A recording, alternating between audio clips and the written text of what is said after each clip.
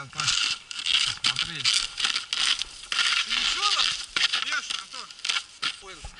Внимание, внимание. Скорый поезд из Антони отправляется до станции. Она не она вырубилась. Давай командуем, а то